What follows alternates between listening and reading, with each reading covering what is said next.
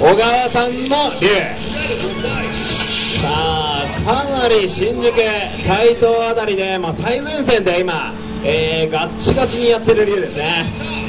かなりまああのー、海原とかその辺りのプレーを見ながら対戦をしながらやってる小川竜。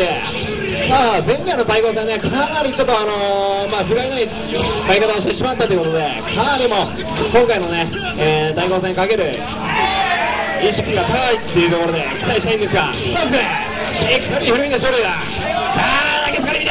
中足たぎさあ竜巻プロペラモード。投げ返して。ホールでのおすすめ。さあ我慢し追い込んだがレコメン投げられて。ホールでのおすすめ。さあオルテガが先にいる攻撃溜まってきて。さあある程度このゲージが溜まると抑止力出てきますが。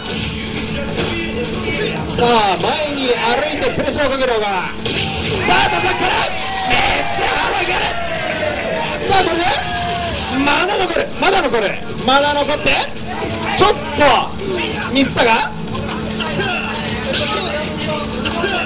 さあ残り30ウルコンだけ気をつけたい。さあさあ孫のアドバイスを受けながら。まあねセコンドにつつく孫非常にやっぱりねこのせいですから。さあちょっとお見合い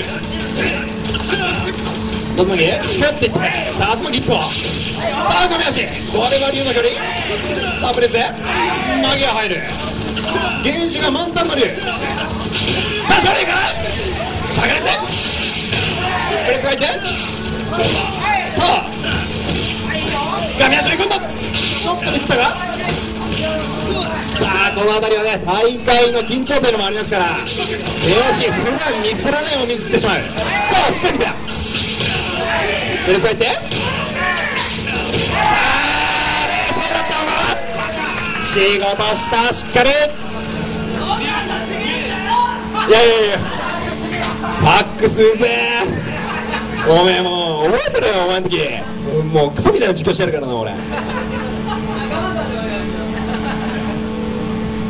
さあえー、2人目愛知はどうする小川さんあ 2P 固定だからボタン押すの早いよ。あごめんちょっとあの徹底しておきたいんですけど 2P 固定なんで、えー、愛知が 1P で、えー、神奈川 2P になりますんで愛知側が先に押してっていう形ですね。で、えーと、作戦会議まあ時間もありますから、まあ、1分ぐらいをめどに、あのー、次どうするか決めてくださいね。